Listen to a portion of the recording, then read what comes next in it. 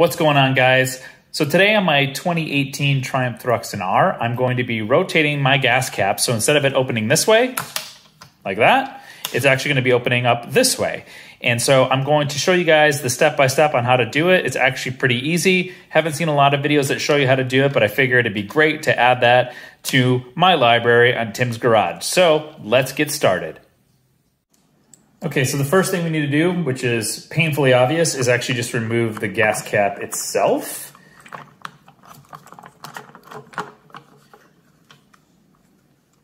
Now with the gas cap removed, the next step here is to actually remove this little plastic ring. And this ring that runs around the inside edge here of the gas cap cover is actually what holds it in place. So we can do that just with a screwdriver lightly and just pop that up.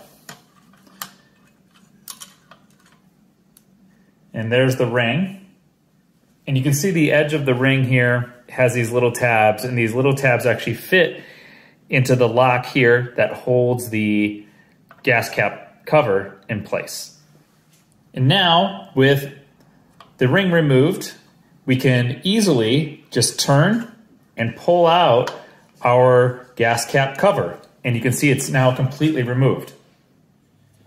So installation is exactly the opposite. We're just going to put the gas cap cover in place like that, facing the new direction. Then we'll grab our plastic ring, making sure that the tabs line up. You can kind of hear that click in place.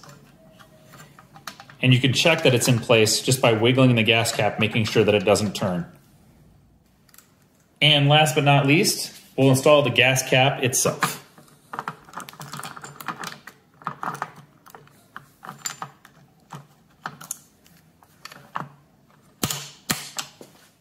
So the gas cap flip around is all set. Now you can see that it opens up going forward like that, making it so much easier for me to take the gas nozzle and fill it in here and also being able to keep an eye on how I fill the tank. I don't usually stick my gas all the way in. I kind of hover it uh, near the top of the hole so I can actually keep an eye on the tank to see how close it can get. So that way I can make sure the tank is completely full. So now I'll actually be able to see it much clearer without having this little door in the way. So the cover now flips forward, all set and ready to go.